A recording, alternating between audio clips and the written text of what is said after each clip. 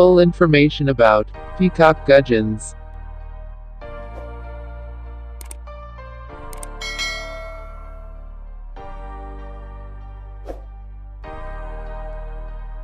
The peacock gudgeon or peacock goby is a tropical freshwater species of fish in the family Eleotridae that is endemic to the eastern part of Papua New Guinea. It can be found in schools hovering over the substrate in rivers and ponds. The peacock gudgeon is an incredibly beautiful and unique freshwater fish that all aquarists should consider. This review on peacock gudgeon will teach you everything you need to know if you want to own this fish yourself. Number 1. Species Summary The peacock gudgeon is a vibrant freshwater fish that's endemic to shallow bodies of water in Papua New Guinea. They're also found throughout New Zealand and Australia. This fish makes an excellent addition to any community tank, though, they require some special attention to ensure that they stay healthy, vibrant, and stress-free. Number 2 Lifespan. In good conditions, the average peacock gudgeon lifespan is between 4 and 5 years in captivity. Number 3. Appearance. They have vibrant colors that stand out against natural aquascaping, making them a good choice for any tank ecosystem. These fish have long and slender bodies, their heads are rounded, adult males can even develop a nuchal hump on the forehead, making that round shape even more pronounced. The body is typically covered in a silvery blue shade, the belly of these fish tends to take on a subtle yellow hue, this beautiful base color is complemented by lateral dotted stripes of red. These dotted stripes run vertically along the entire length of the fish, the same silver blue and red coloration continue on the fins. All of the peacock gobies fins have a thick edge of bright yellow, female specimens also have a thinner strip of black on top of the yellow portion of the fins.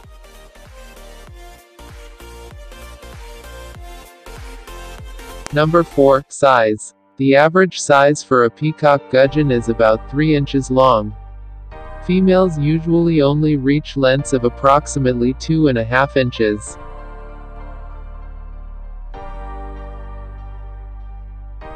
Number 5 Peacock Gudgeon Care. These fish need carefully crafted environments and stable water conditions to stay healthy. Here are some important care tips to follow. First tip. Tank size. The minimum tank size we recommend is 15 gallons. That's suitable for a small group of peacock gudgeons. Second tip. Water parameters. Peacock gudgeons are usually found in still ponds or very slow-moving streams. Those bodies of water are filled with vegetation and are pretty warm. The best way to keep peacock gudgeons healthy in captivity is replicate those natural habitats as much as possible. The following water parameters are ideal for these fish. Water temperature, 72 degrees Fahrenheit to 79 degrees Fahrenheit. pH levels, 6.0 to 7.8. Around 7.0 is best. Water hardness, 5 to 12 dkh. Third tip. Potential diseases. Peacock gudgeons are at risk for a range of diseases, one common issue is ick. It's caused by an ectoparasite called Ichthyophthirius multifiliis. Freshwater fish will succumb to the parasite when stressed. So, it's important to monitor water conditions regularly and keep the tank in good shape to avoid it. Ick is highly infected, you can treat the issue with copper-based medicines. A couple of ailments affect peacock gudgeon's head, the first thing to be wary of is hole in head disease. This condition usually affects larger fish like cichlids, however, it can affect peacock gudgeons, too. This disease is transmitted via feces. Typically, it occurs due to poor water conditions and results in sores and visible pits on the head. Worms and parasitic infections are common as well.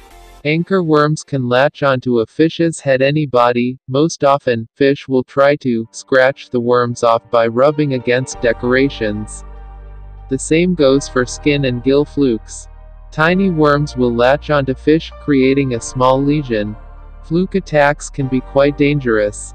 While small infestations aren't a huge deal, but larger ones can easily kill peacock gudgeons. Luckily, they can usually be treated with antifungal and antibacterial medicines. Fourth tip. Tank mates. There are plenty of peacock gudgeon tank mates you can choose from. Aside from other fish of the same species, these fish fare pretty well with almost all other peaceful fish. You can keep them in community tanks as long as there are no major aggressors, it is possible to keep somewhat territorial fish in the same tank. Though, you need to make sure that those fish are not big enough to eat the peacock gudgeons.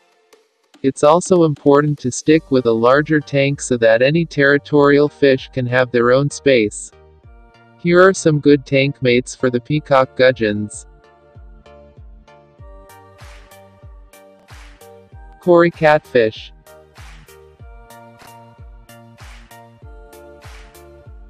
Ember tetra, or other tetras. Bumblebee goby.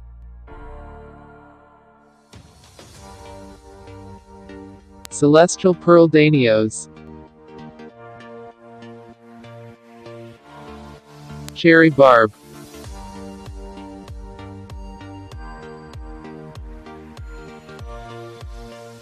Next video we review about common roof.